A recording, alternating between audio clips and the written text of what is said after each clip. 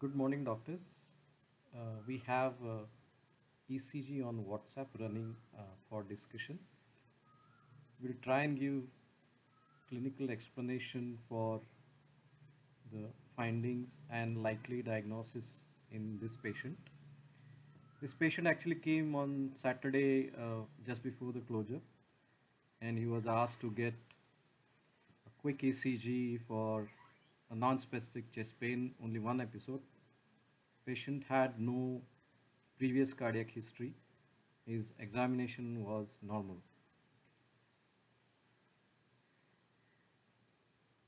So what we see on ECG is in lead 1 that there is a deep Q waves also in lead AVL. In lead V1 there is a RBBB pattern and in all other leads we see a wide QRS more than 120 milliseconds duration with a slurred upstroke of the QRS in all the leads. Now this is an ECG which is very typical of WPW syndrome or Wolff Parkinson syndrome. And uh, these patients are at a high risk of developing sudden onset tachyarrhythmias.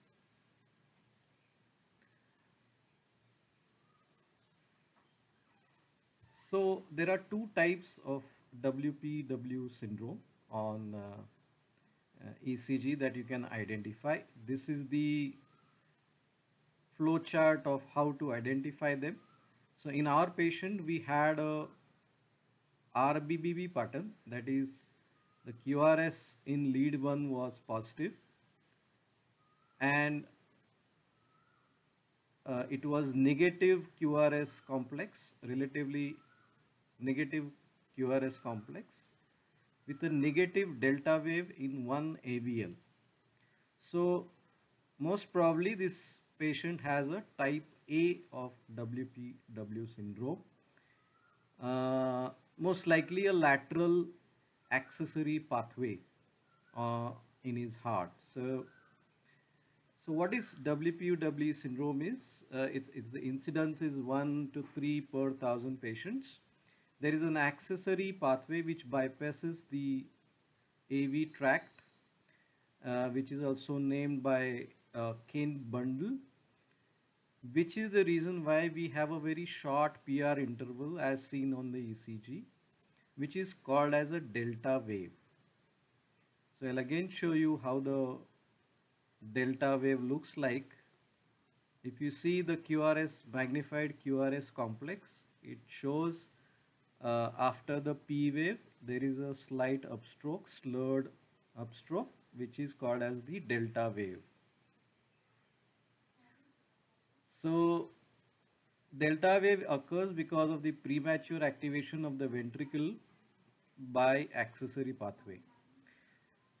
But not all patients will have tachycardia. Less than one quarter have uh, episode of sustained tachycardia and the ECG appearances mimic uh, the other conditions of uh, if it is a type A as many doctors has discussed that this could be representing an infarction, uh, a true posterior infarction or a right ventricular hypertrophy or RBBB and there is a small risk of sudden death in these patients.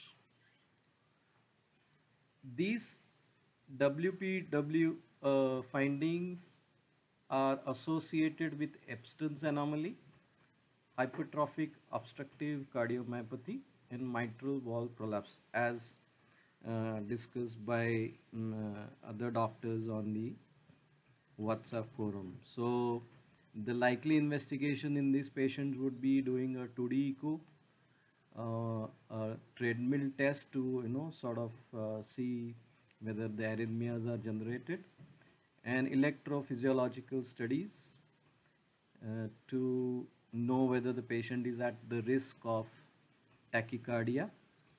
Uh, currently the patient is under investigation. He is going to come back after five days. But uh, mm, as far as uh, the chest pain cause is concerned, it's not very sure whether it is really cardiac or something else. His chest x-ray was also normal.